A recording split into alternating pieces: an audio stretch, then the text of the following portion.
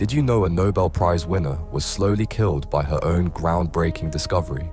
In 1902, Marie Curie worked tirelessly in her makeshift laboratory in Paris, studying the mysterious element radium. She carried glowing test tubes in her coat pockets like lucky charms. Every night, she handled radioactive materials with her bare hands, fascinated by their eerie green glow. She even kept radium samples on her desk and slept next to her laboratory. But something sinister was happening to her body. Her fingertips cracked and bled constantly. She felt exhausted, but blamed it on overwork. In the dark, her hands glowed with an otherworldly light. Over the decades, severe anemia set in, followed by kidney problems and cataracts.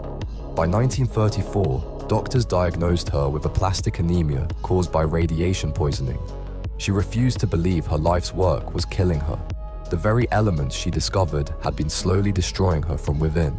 Today, her laboratory notebooks are still radioactive and will remain deadly for another 1500 years.